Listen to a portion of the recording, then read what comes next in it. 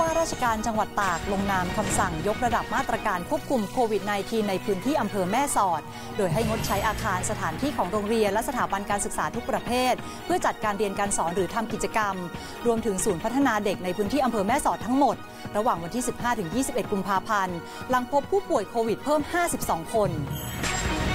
เกิดเหตุคนร้ายลอบวางระเบิดในพื้นที่หมู่ 8 บ้านปูลาไซตำบลตันหยงมัด อำเภอระแงะจังหวัดนราธิวาส เบื้องต้นมีเจ้าหน้าที่บาดเจ็บ 2 นาย ส่งตัวเข้ารับการรักษาที่โรงพยาบาลระแงะ เจ้าหน้าที่อยู่ระหว่างสอบสวนและตรวจสอบพื้นที่ ยังไม่ทราบชื่อและจำนวนกลุ่มผู้ก่อเหตุ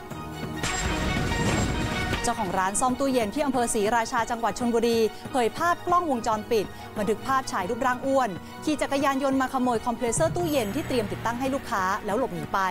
เจ้าของร้านระบุ ถูกขโมยมาครั้งหนึ่งแล้ว จึงติดกล้องวงจรปิดจนบันทึกใบหน้าคนร้ายได้